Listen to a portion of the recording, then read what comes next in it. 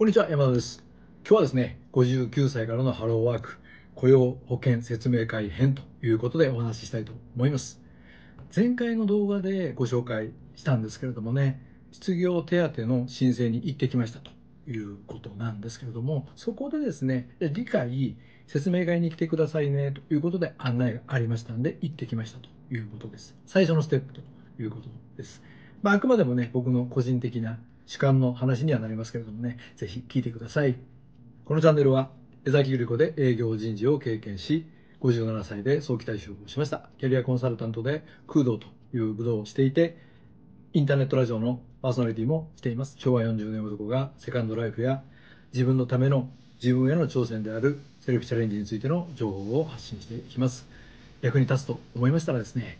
高評価、チャンネル登録いただけますと励みになりますんで、よろしくお願いします。実際の説明会はですね、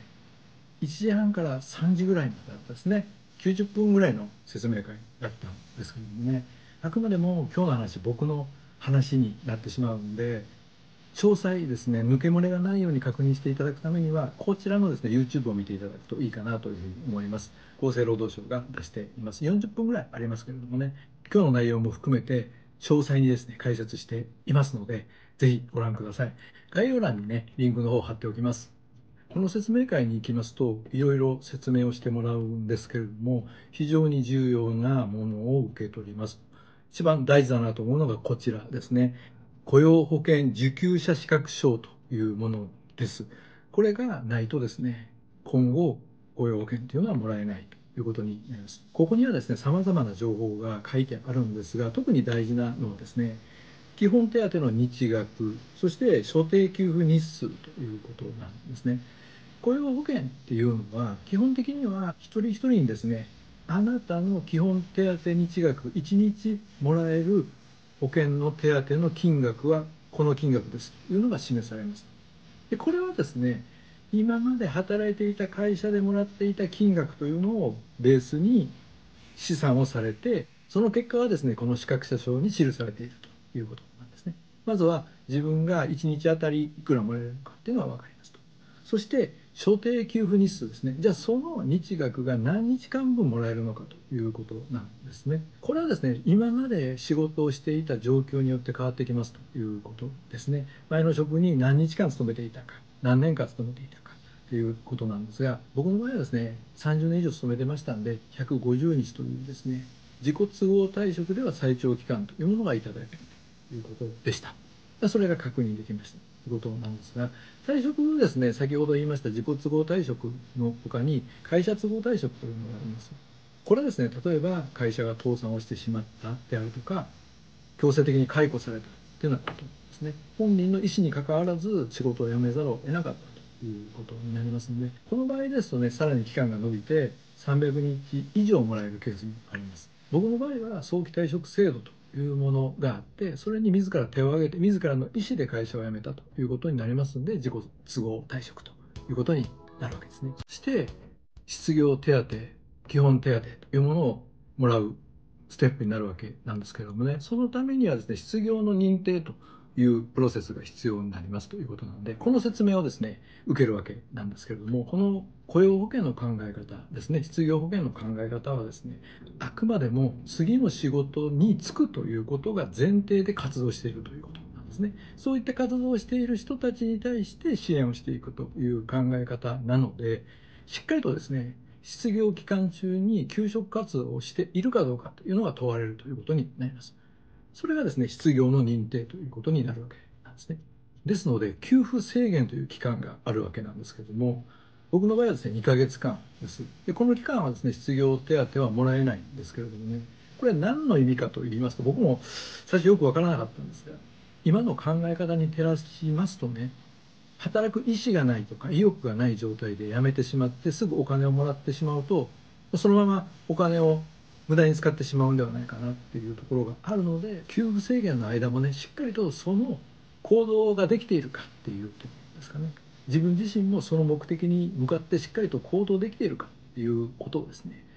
まあ、確認する意味でもあるし、客観的にそれを証明する必要もあるということなんだろうなと思います。ただですね、この給付制限の期間というものはですね、見直しをされて2025年の4月からは1ヶ月になりますということでやはり働き方も変わってきていますし流動化を進めていくというところで言えば現状の制度を見直していくというのもね今後も行われていくんではないかなと思います。この人は次の仕事に向けてしっかりと取り組んでいるんだなっていうことをですね客観的に証明していくための機会ということでですね 4, 4週間28日間に1回ですね指定された日これはもうハローワークの方からこの日に来てくださいっていうふうにですね指定をされる日があるんですがそこでですね失業認定申告書というものを提出しますここでですねその期間の状況ですね自分がちゃんと活動しているのかというところもありますし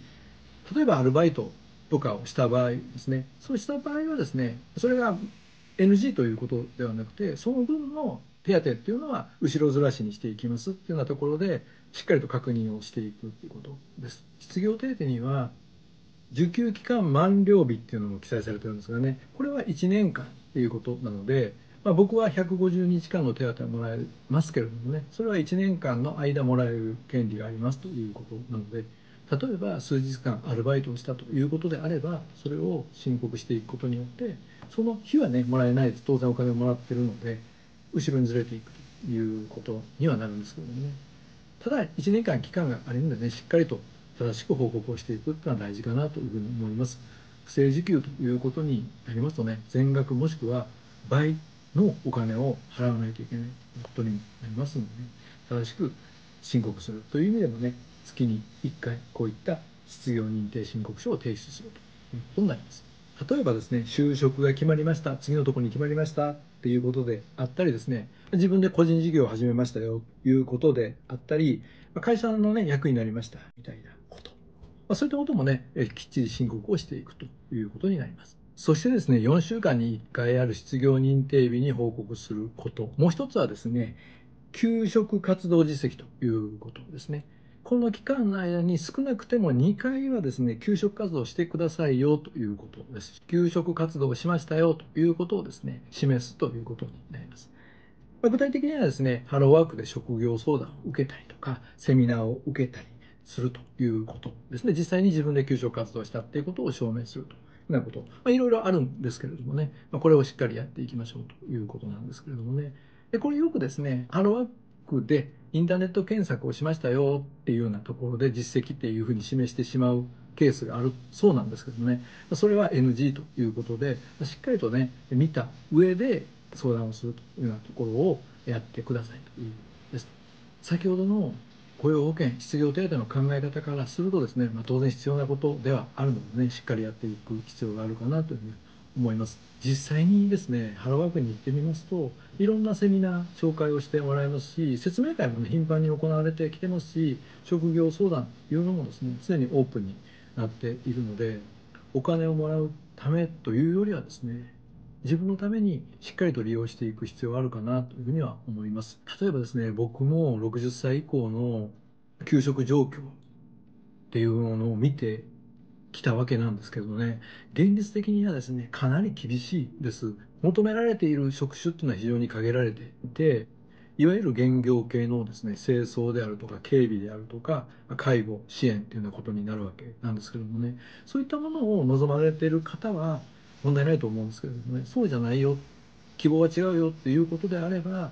違う準備もしていく必要もあるし自分の実績を生かしてどうアプローチしていくかっていうところもね考えていかないといけないかなというふうに思います。そういった意味でもしっかりとそうした情報をもとに相談をしていく